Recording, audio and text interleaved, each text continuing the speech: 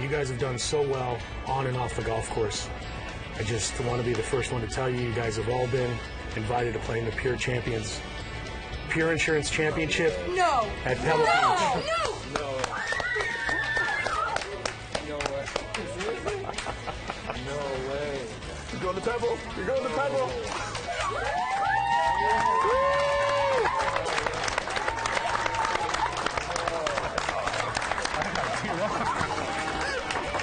Pretty awesome experience. We're joined here by Jake Griffin, who's 15 years old, who's also going to go play at Pebble. And your experience with finding out that you're going to get this incredible opportunity was totally different than those kids. Where were you when the word went out that you were going to get to do this? Uh, I was playing in a tournament down in North Carolina, and I found out that I was in playing at Pebble after the tournament. So I had no idea. And uh, it was great to find out. So your mom, I was talking with her before. She said she started getting the emails to her phone. You were still on the course, and she didn't want to tell you anything. So what? How did she tell you, and what was your reaction when you found out? Uh, she told me after I came off the course, and I mean, I was just shocked because I didn't really expect to be going to Pebble. But then she told me, and it feels great. So you're 15 years old. I mean, the history of Pebble Beach, Arnold Palmer made it historic. Johnny Miller, Tigers won there. You're too young and probably don't care to really know the history now at this point, but have you been being flooded with just what this is, what this moment's going to be like, and how big an opportunity this is? Yeah, I mean, everybody that's told me about it has just told me it's been a great experience. Just soak it all in, have a lot of fun. When did you first fall in love with golf? Probably when I was about six or seven, and my dad took me to the driving range and just started from there. What was it about golf? Why? I mean, most kids fall in love with you know shooting hoops. Why golf, which is the most frustrating sport there is? I mean, I just liked hitting the ball. It's a lot of fun, just to see it go, and then how you can improve, practice, get a lot better. So when you get out on the course and you get involved in the First Tee program, this program is about so much more than just golf. I mean, it, it's the nine core values. It's about life skills. What about that attracted you to this program? Well, uh, through the first tee, I've been able to help younger kids, teaching them golf, and then I just like teaching other people about the game I love and helping them get better.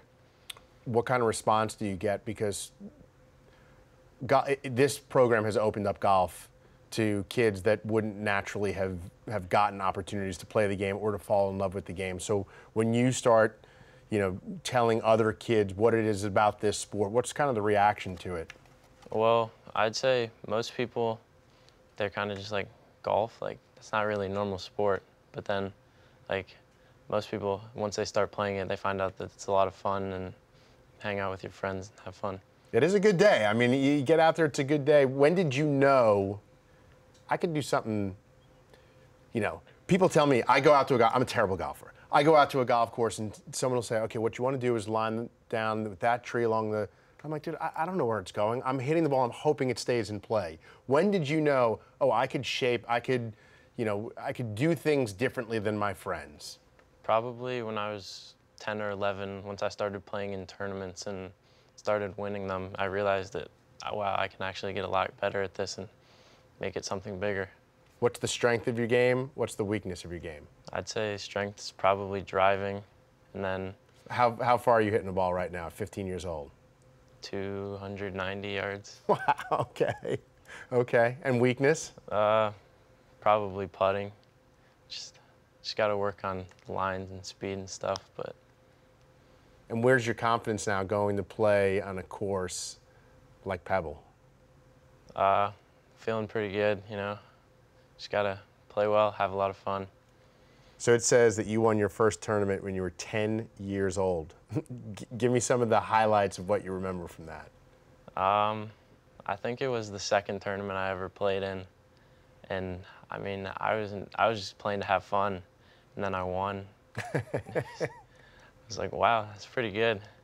And then just started from there. Who's been who's been most excited about this opportunity? Is it your friends, who I imagine a lot of them play golf, or is it more like your parents' friends who really understand what this is? Uh, probably my parents, my their friends, because they really know more than my friends would. So they're excited to go out there about the history of Pebble. Yeah, it is. It is tremendous history. I uh, I'm jealous, and I think you should go out there and have the absolute time of your life. Congratulations on this amazing accomplishment. Thank you.